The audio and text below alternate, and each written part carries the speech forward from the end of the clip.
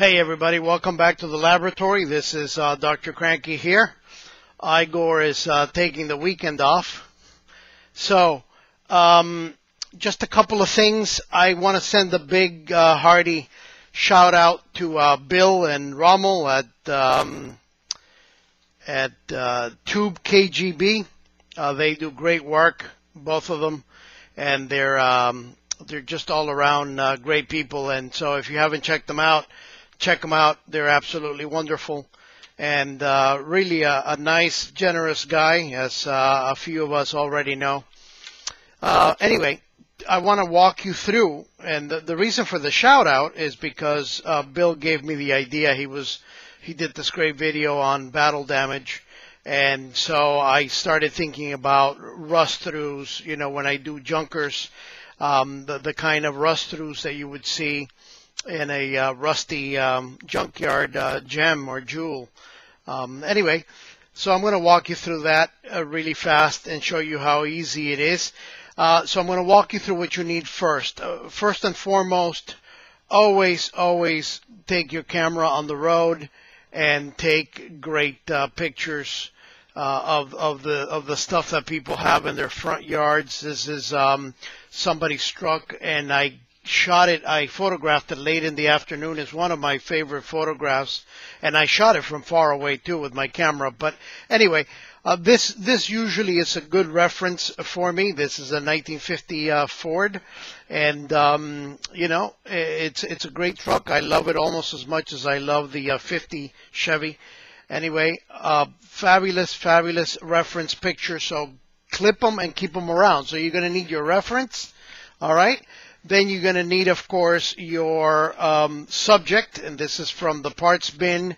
I'm missing a whole bunch of parts, but that's okay. I'm just going to walk you through a couple of little spots just to show you what I end up doing.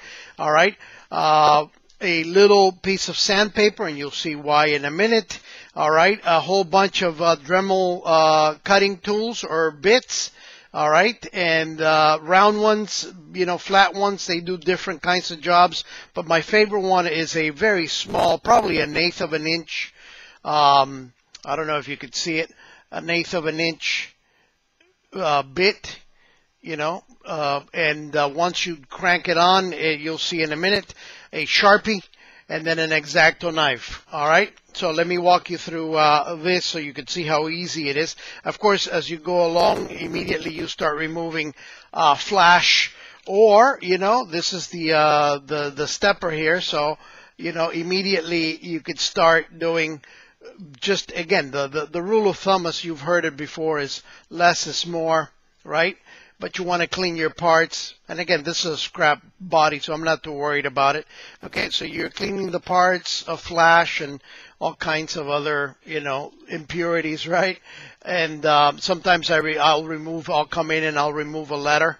All right, that way, and then and then what I do is once I remove the letter, just for that extra, um, you know, bit of reality, then I will uh, drill uh, probably with a smaller uh, drill bit than this, but you know, I'll drill a uh, a little hole where the where the letter would have been held, right? Uh, it, it's all you know. Once you start making holes in the body, it'll show once you paint it, of course. Absolutely wonderful. So it begins like that. You begin to layer. Now, for the rust throughs, you have to figure out exactly where you might want to put uh, a rust through, and that's why the Sharpie will come in handy uh, you could probably, you know, mark uh, again in a couple in a couple of spots, right? Uh, these suckers tend to rust right around this edge here. All right. So, uh, and again, you do the other side too, but you just mark it and then what you're going to do is you're going to turn it over. All right. And you do the same thing with the, uh, with the other parts like around, you know, around the, uh, the door, the bottom of the door, places like that. Again, if you're in doubt, check out your uh, reference photographs. So you're, um, you're going to, oh, let me put on my safety goggles here, of course, just to be on the safe side.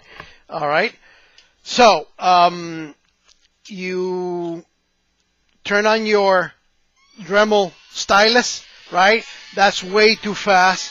So you dial it down, right? You want a little bit more control. Usually around two uh, will be okay, right? And so you find your spots and you know that, you know, and use the angle on the body. I hope you can still hear me.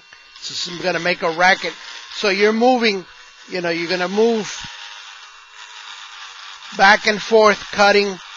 And you're going to see my hands in a minute. Lots of uh, plastic bits. As a matter of fact, it wouldn't hurt to uh, wear your mask too. But I'm going to show you in a minute.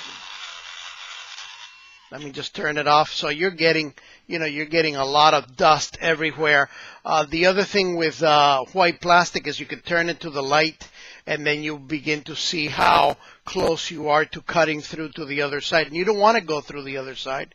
You want to make sure that you stay, you know, within reason on this side because I'm going to show you the final trick for that extra little bit of reality. All right, a realism. All right, here we go.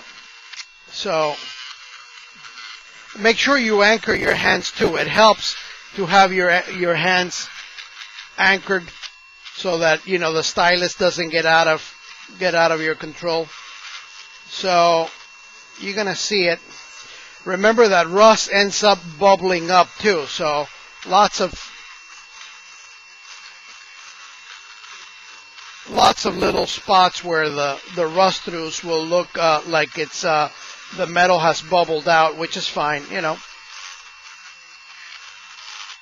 All right, now we're making we're making quite a you know quite a dent there, and it's and it's good. We we still have a while to go. Follow follow your uh, lines, your sharpie lines, right? If it's if it's sticking a little bit, you can dial it up. Uh, between two and four is fine. Okay, whoa, see, the stylus went right through.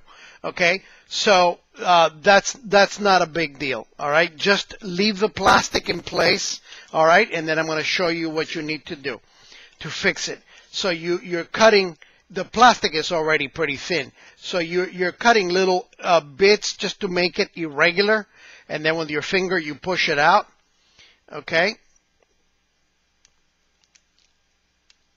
Like that. You don't want to remove all of it. You just want to leave it, right? And then um, you cut just a little bit here and a little bit there because it's going to be pretty thin already. So, you know, you might actually come back in and hit it just a little bit more. It's a, it's a, um, you know, it's, it's a uh, slow process. There we go. See, it bubbled up. Let me see if you can see it.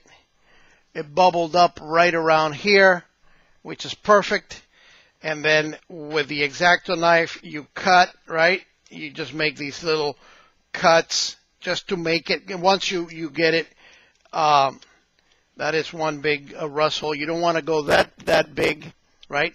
But you begin to see it uh, there. And then um, you could also come back in with the X-Acto knife and maybe put uh, a couple of, of dents all right? Um, so that it adds to the realism. Then you take your sanding paper and you smooth the edges because no dent has sharp edges all the way around. So, and you know, we'll, we'll let me get the, uh, let me get rid of the, uh, of the Sharpie mark so that you could see the rust through, which is another reason for, for the, uh, for the little sand, uh, paper here, right? Okay, so there it is. You could see it.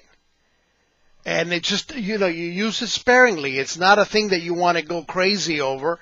Um, but it doesn't also hurt if you wanted to, for example, put uh, a couple of, of, of, you know, marks like that just to add texture to the plastic.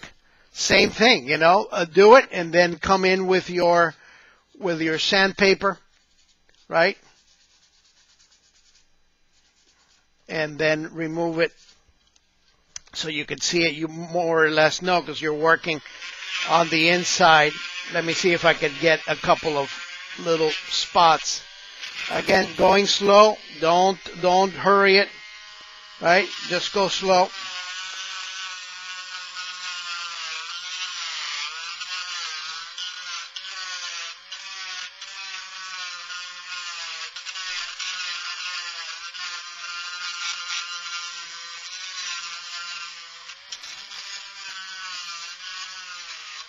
All right, here we go.